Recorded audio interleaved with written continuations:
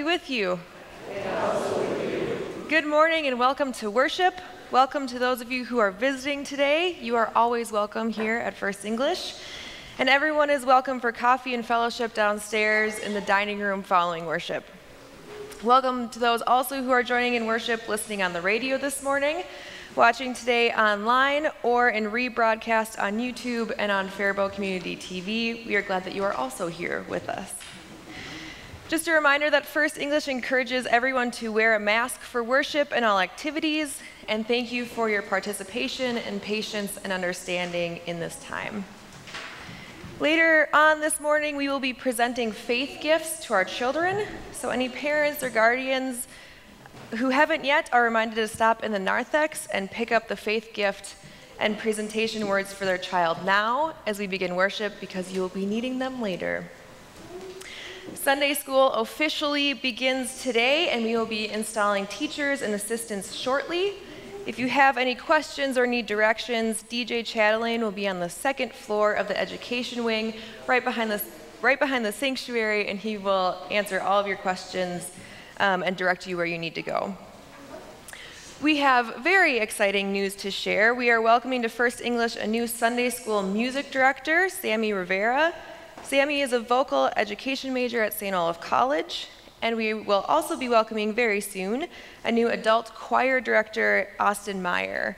Austin is also a vocal education major at St. Olaf. Installation for Sammy and Austin will take place in the coming weeks. And a note to the adult choir members, a letter will be coming out to you soon about plans for the new year of choir, so please stay tuned for that. The ELCA Youth Gathering is on for next summer in Minneapolis and youth from First English, Christ Lutheran, and Our Saviors will be attending. All current 8th through 12th graders are eligible to attend, and you are invited to a meeting with DJ next Sunday, September 26th at 11 a.m. here at First English to hear more information. Mission focus this month is the Crop Hunger Walk, our yearly mission focus supporting hunger relief around the world through the work of the of Church World Service Partners and supporting hunger relief here in Faribault. The crop walk is Saturday, October 2nd. You can register to walk and take pledges by picking up a pledge sheet in the church office. If you would rather not walk, you can support the effort by making out a check to First English with Crop Walk in the memo line. Also, on that day, if you are hungry, you are invited to support the crop walk by stopping by the Fareway Snack Shack next Friday and Saturday for a hot dog or hamburger. Volunteers are also still needed for, to help staff the booth on Saturday, so please talk with Ken Kangas if you are available. Pillow cleaning is back at First English this week on Tuesday, September or on Tuesday, September 28th from 7:30 to 3:30. And flowers this morning are from the funeral services held this past week for Steve Temple. At this time, we will be installing our Sunday school teachers and volunteers. So we invite the Sunday school teachers and assistants who are present to come forward and stand in front of the railing as I call your name. So Carissa Allen, Tegan Embry, Laura Salmon, Tova Selner, Stella Carlin, Megan Parker, and Krisha Schwartz. You are here, please come forward.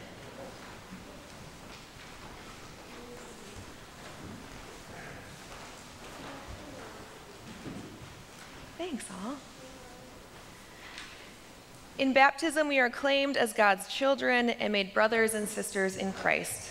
As we live in this baptismal grace, we work together to share Christ's love to teach the faith, and to encourage one another in hope. This morning, we recognize those who serve as teachers and assistants in our education ministry here at First English. The Apostle Paul, himself a leader and teacher of God's Word, wrote, We have many parts in the one body, and all these parts have different functions. In the same way, though we are many, we are one body in union with Christ and we are all joined to each other as different parts of one body. So we are all to use our gifts in accordance with the grace that God has given us. If our gift is to speak God's message, we should do it according to the faith that we have. If it is to serve, we should serve. If it is to teach, we should teach. If it is to encourage others, we should do so. So, teachers and assistants, I ask you now are you ready and willing to teach, guide, instruct, and help the children of First English to grow in faith and in knowledge of God's Word? Will you seek to be faithful in your responsibilities, and will you strive to be signs of God's love and grace to the children and youth that you teach? If so, respond yes with the help of God. I now invite you to turn around and face the congregation. Because people of First English, will you be supportive of the education ministries in this congregation? Will you pray for our teachers and assistants? Will you encourage participation and, insist, and assist them in any way possible? If so, respond together yes with the help of God. Yes, with the help of God. Let us pray. Almighty God, source of wisdom and knowledge, help us to hear your word and to study it diligently. Help us to tell the story of your love through the lives, through the lives we live, extending your love and care to all we meet. Support all who teach and all who learn. Bless the Sunday school, catechism, and confirmation ministries at First English, that together, young and old, we may grow in your love and know and do your will through Jesus Christ our Lord. Amen. Let us offer a sign of our thanks and encouragement to all of our teachers and volunteers.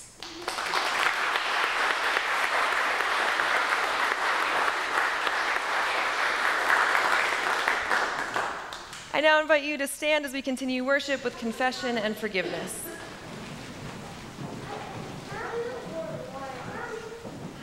Blessed be the Holy Trinity, one God, whose teaching is life, whose presence is sure, and whose love is endless. Amen. Let us confess our sin to the one who welcomes us with an open heart.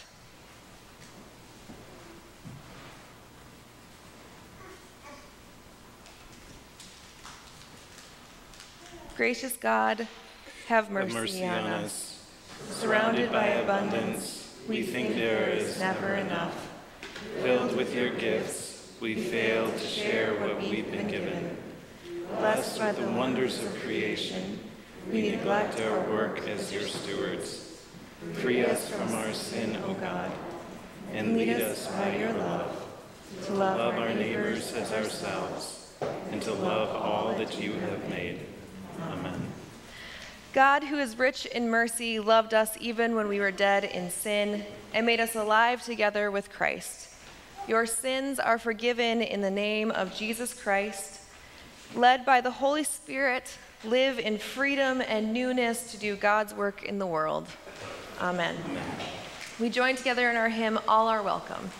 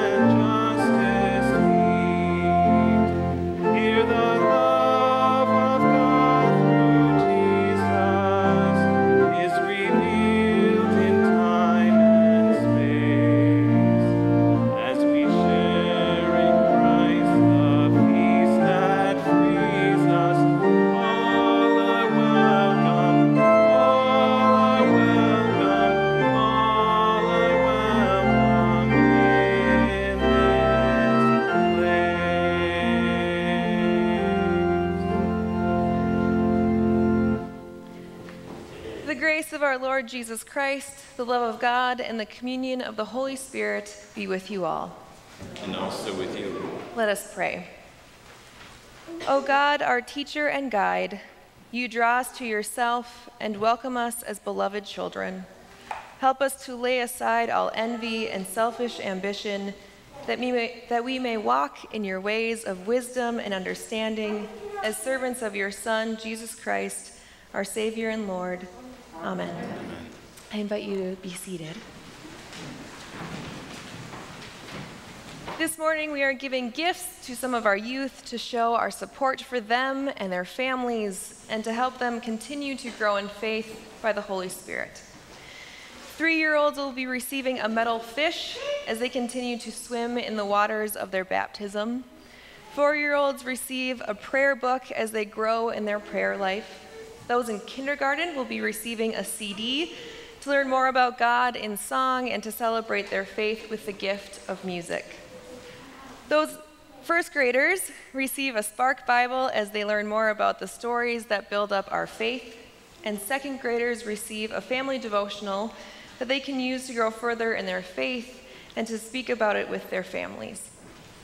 As a church community, we are here to help and to give resources, and we understand that faith is foremost influenced and taught by families and adults in our youth's lives. So today, First English gave these gifts first to the parents and guardians of our youth, who will then present the gift to their child. So at this time, I invite the parents and the youth who are receiving gifts today to please stand wherever you are. Wonderful. And along with the gifts, you should have received a piece of paper that has a blessing to it. And so I invite you at this moment to present the gifts to your child now.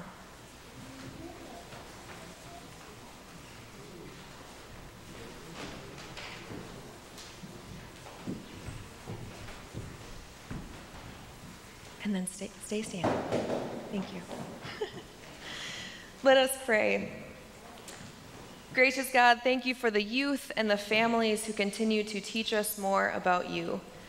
Bless these gifts and help them to guide their faith so that they may know more about you, know that they are always loved and forgiven by you, and that you are with them every day of their lives and every day of their journeys. All these things we pray in your name. Amen. I invite you to be seated.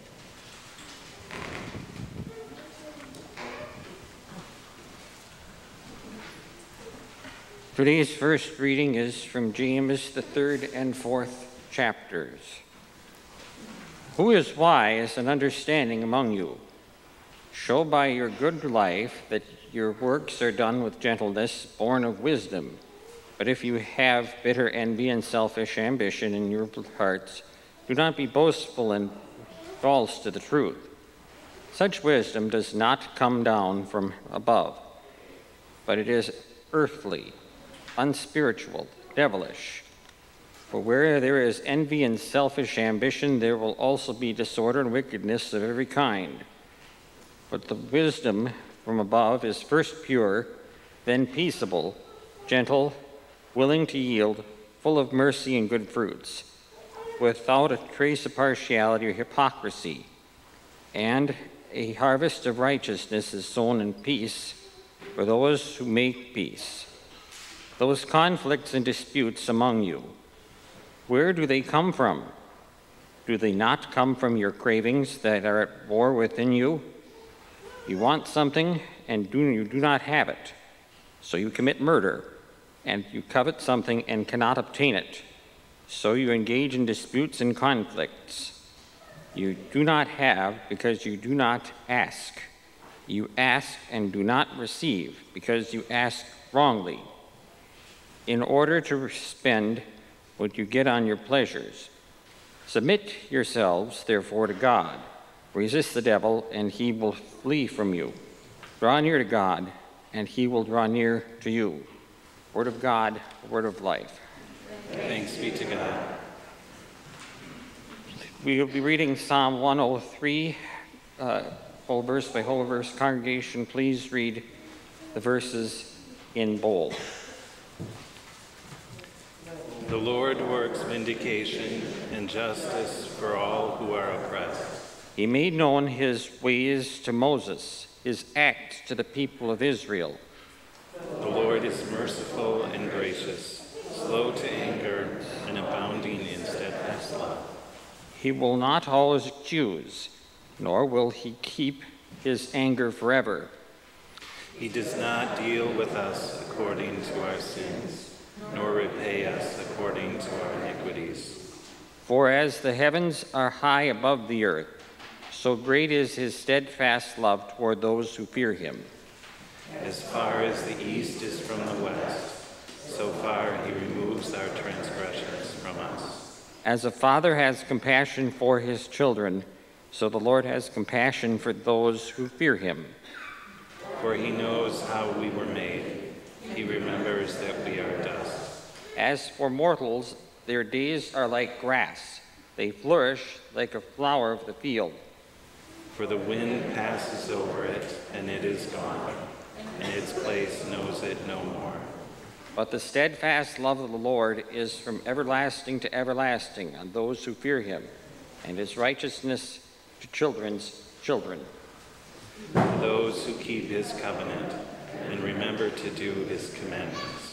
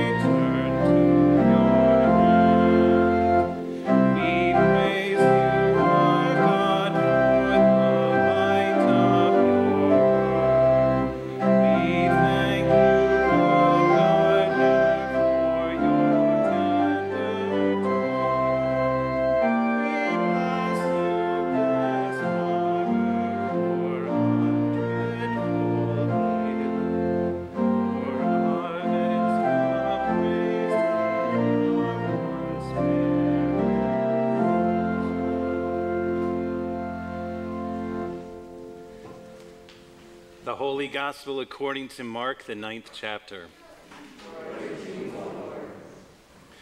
Jesus and the disciples went on and passed through Galilee.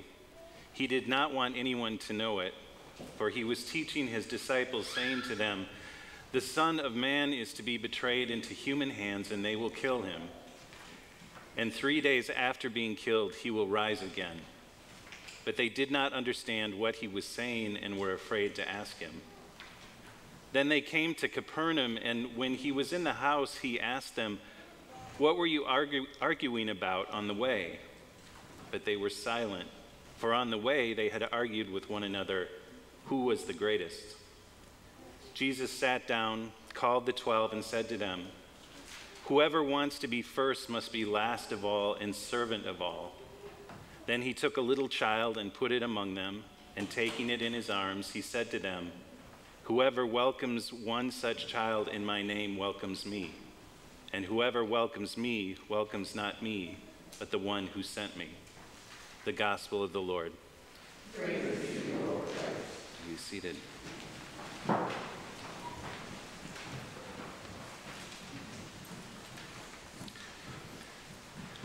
This is the second time that Jesus tells the disciples that he will die and be raised from the dead. It's the third time for Peter, James, and John, who heard it another time from Jesus. No one expects the promised Messiah to redeem Israel through suffering and death. The crucifixion of the Messiah by government forces is not in anyone's definition of success for this mission. Neither was resurrection anything that anyone expected. It was just as incredible and unbelievable, logic defying, and world changing. If you're a disciple of Jesus and you aren't confused, if you don't have questions, if you don't have doubts, you are probably not paying attention. Or you're deep in denial. And or afraid of what all of this means, not only for your teacher Jesus, but for your nation, your people, and for yourself. And often, when we're confronted with things that we don't want to hear, things we don't want to try to understand or to accept, many of us deny, deflect, and ignore. We try to change the subject and talk about something else, anything else. And so on this day, instead of talking about Jesus being betrayed and killed and rising again, some of the disciples start talking about who's the greatest follower of Jesus. Who's best prepared to enter God's kingdom? We're not given any specifics about the conversation, but Peter, James, and John were the only three disciples that Jesus had taken up the mountain with him when he was transfigured. And so maybe they're the ones who are arguing. If Peter was claiming the title of greatest because he was the first to call Jesus the Messiah, one of the others must have shot back that Jesus also called Peter Satan in that same conversation. Whoever was arguing, Jesus overhears and is not impressed, and he has everyone sit down and he starts talking about the meaning of greatness. What greatness meant in the culture of first century Israel was not all that different than what it means in our day. Greatness is based on one's power, accomplishment, fame, wealth, and all the other things that allow a person to do things, to influence people, to make things go your way. But that's not Jesus' definition of greatness. To drive his point home, Jesus scoops up a child and tells them that whoever welcomes a child like this welcomes him, and not just him, but the one who sent Jesus into the world. And all of a sudden, Jesus goes from saying something odd and very Jesus y, whoever wants to be first must be last of all and servant of all, to saying something that probably sounded irrational and shocking to the disciples. Whoever welcomes one such child in my name welcomes me and the one who sent me. In the ancient world, most parents loved their children, of course, but children were at the bottom of the social heap.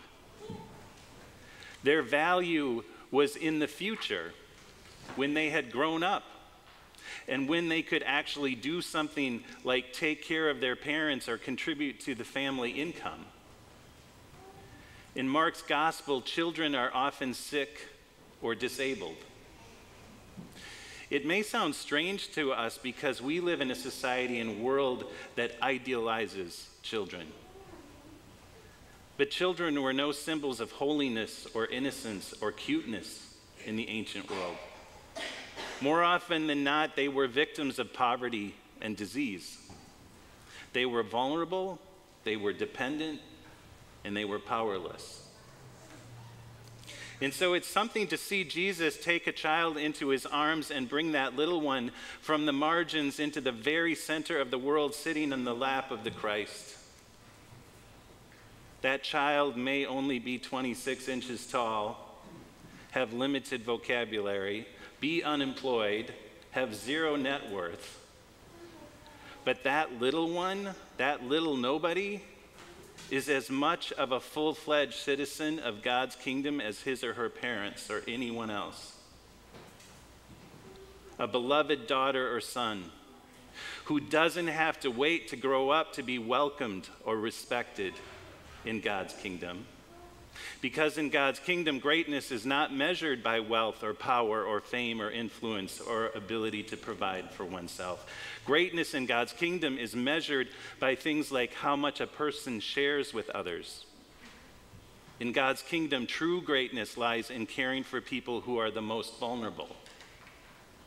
Those with little influence or power, those who can't pay you back for the nice things you do to them. Greatness in God's kingdom is measured not by what we take, but by what we give away, not by the influence we wield for ourselves, but by the service that we offer on behalf of others, not by always being first, but eager to work hard to see others move ahead. And that makes greatness in God's kingdom as difficult for us to learn and to accept and to put into practice as it was for those first disciples. Read ahead a little bit after the story in Mark's gospel, and the disciples, do you remember this story? They want to turn away the people who are bringing children to Jesus to have him bless them. They still didn't understand the lesson. That impulse to exclude and to discount is so strong. It's so easy to stay in our patterns of who we are and who we think God is and how we think the world should work. That fear and denial of change is so strong that we continue to try to secure our own control and status and welfare instead of trusting God. Instead of being open to seeing and engaging with people who are different than we are taking care of our own children while often ignoring or not caring for children who don't belong to us. We have to be careful here, of course. Can't come down too hard on the disciples or on ourselves. You can't operate a mission or a society by turning it over to those with the least to offer. Jesus is not advocating here that children be in charge of the church or the government. Jesus is not even lifting up children as moral examples. He is not sentimentalizing their role or place in the world. The point that Jesus seems to be making is that God's values are not our values. However, we choose to organize our lives, we have this little child in this story today to remind us that God organizes things otherwise. In this upside down world of God that God intends and is building, the most unlikely people are as beloved and as much agents in the mission as anyone else. Those who live in this world below our kneecaps, the ones who are stuck at the end of the line, the ones who always feel like they are always last, they are just as important as any other disciple. And each of us, wherever we live, whatever we do, whoever we know, each one of us is and can be as vulnerable and powerless as a child for all kinds of reasons. It's tempting when we hear this story to think that Jesus is trying to knock down the disciples a couple notches, to teach them a lesson about humility. And maybe that's part of what Jesus is doing. But there's more going on here the presence of that child that day began to cut through the facade that the disciples were trying to put up to protect themselves. Jesus is calling the disciples back to their true selves, inviting them to see the life and blessing that comes not through gathering power, or jockeying for position, or any of that, but the life and the blessing that comes by risking vulnerability not through obsessing about accomplishment, but by seeking to serve others. To welcome those who are vulnerable and overlooked and ignored by society reflects the deep love, blessing, and welcome that Jesus has come to offer to the world. To welcome children and to care for those who are suffering and alone not only are signs of God's presence and power for those little ones, but these acts of love have the power to open up to each of us a new way of living, a new way of seeing, a new, deeper understanding of God and our place and purpose in the world. Even when we are afraid and are out of our comfort zone, these small gestures of care and compassion, they have the power to dispel our fears and to begin to increase the assurance and hope in us that fear and death do not have the last word in this world. And they remind us, they remind us, this little child, hopefully, that each one of us is a child still. Vulnerable, powerless, dependent, but beloved by God, welcomed by God, filled with faith each day by the Spirit, called to grow and to serve, to be a blessing, and to always be blessed. Thanks be to God.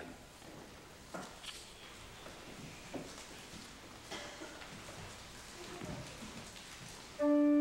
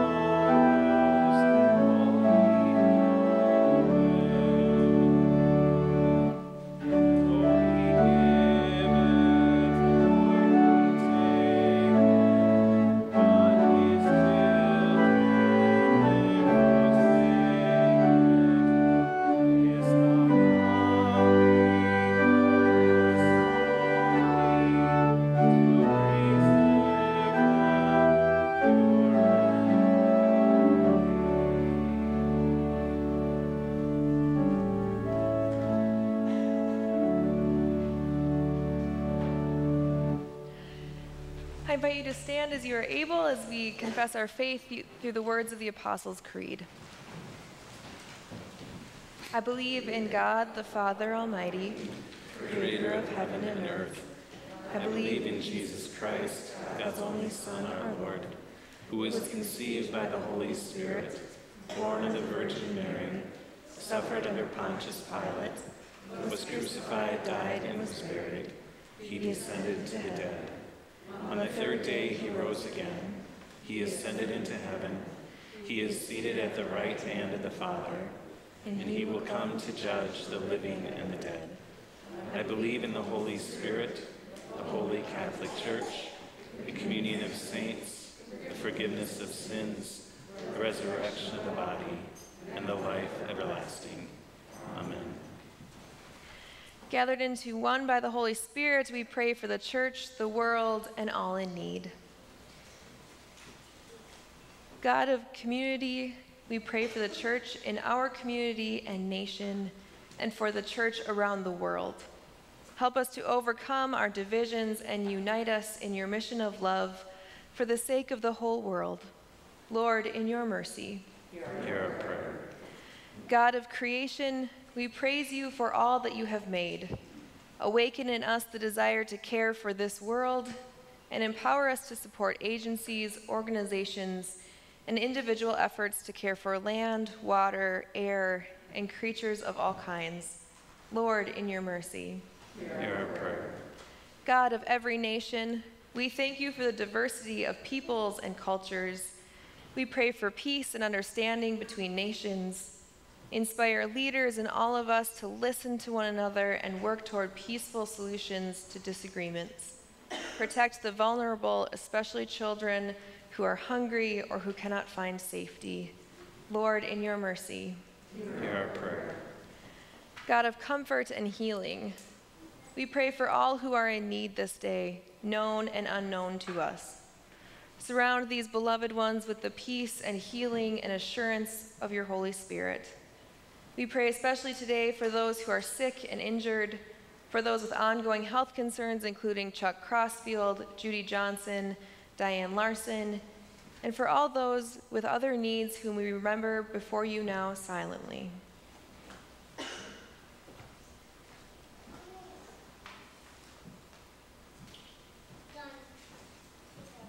Lord, in your mercy. Hear our prayer. God of compassion, we pray for the young people of First English in Faribault and around the world. Renew in us your call to welcome the children in our midst.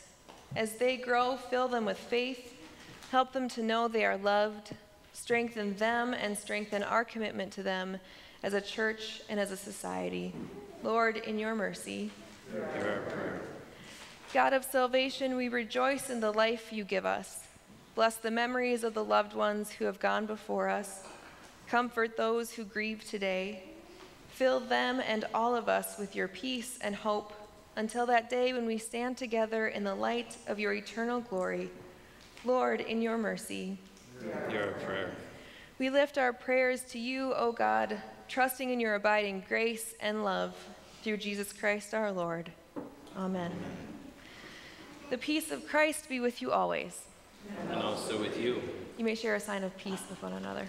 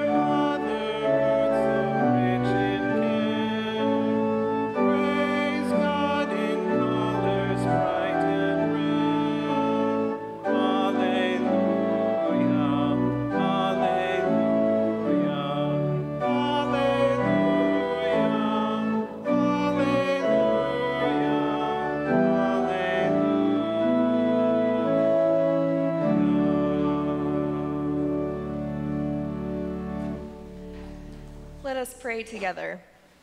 God, our, God, our provider, provider, we bring you the gifts that you have first given us, and with them the offering of our lives. Nourish us with the life that is the one true life, revealed to us in Jesus Christ, our Savior and Lord. Amen. Gathered at the Lord's table last week on September 12th, we remembered with thanksgiving that on the night in which he was betrayed, our Lord Jesus took bread, gave thanks to his Father in heaven, blessed and broke it, and gave it to his disciples, saying, Take and eat. This is my body, and it's given for you. Do this to remember me. And again, after supper, he took a cup of wine and he blessed it, and he gave it to all who were there, saying, Take and drink. This cup is a new covenant, it's a new promise made in my blood and shed for you and for the holy and for all people for the forgiveness of sin. Do this to remember me.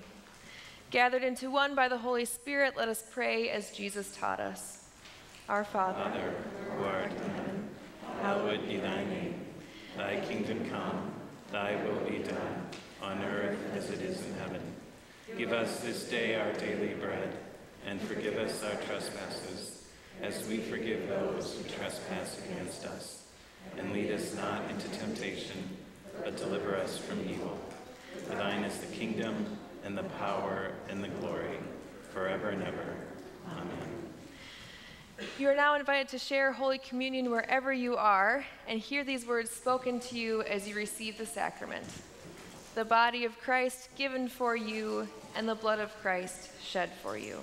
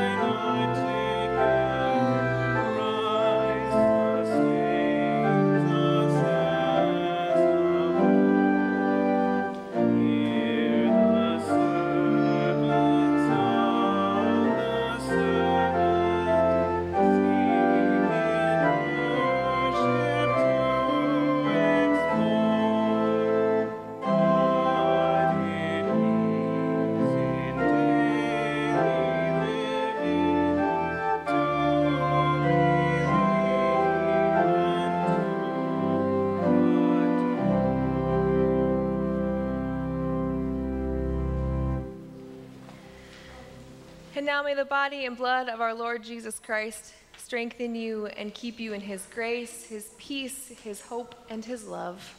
Amen. Amen. Let us pray. Lord of life, we give you thanks that in this simple meal you have set a banquet for us. Sustain us on the journey and unite us through your Holy Spirit. Strengthen us to care for all of your beloved children and give us glad and generous hearts as we meet you on the way. Amen. And now receive this blessing. May the God of hope fill you with all joy and peace in believing, so that you may abound in hope by the power of the Holy Spirit. Almighty God, Father, Son, and Holy Spirit, bless you now and forever. Amen. Amen. We join in our sending hymn.